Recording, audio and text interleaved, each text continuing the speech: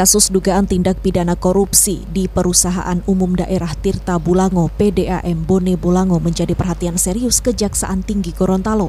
Asisten Intelijen Kejati Otto Sompotan menyebut kasus ini terus berproses dan telah memeriksa sejumlah saksi. Otto Sompotan bilang dari proses penyidikan yang dilakukan jelas bahwa telah terjadi kerugian negara dari proses pemasangan jaringan air bersih yang dilakukan PDAM. Namun demikian, terkait jumlah kerugian, Kejaksaan Tinggi masih menunggu perhitungan BPK. Penyidikan sementara ditemukan adanya dugaan jaringan air bersih fiktif yang tidak bisa dipertanggungjawabkan.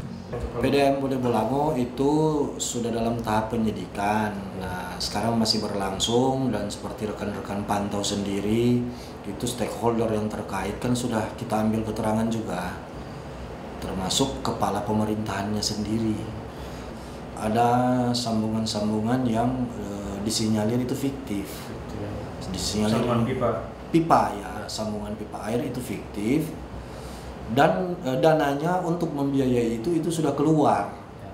Sudah keluar tapi pekerjaannya fiktif dan itu tidak bisa dimanfaatkan atau dirasakan oleh masyarakat. Pak tidak dikasih kerugian negara Pak? Untuk sementara ada kerugian negara cuma kita memastikan itu harus dihitung harus iya. audit ya. Asisten Intelijen Kejati Otto Sompotan menyatakan demi maksimalnya penyidikan yang dilakukan, kini kasus tersebut telah diserahkan langsung prosesnya ke bidang pidana khusus untuk penyidikan selanjutnya. Mamat Kaida, Kompas TV, Gorontalo.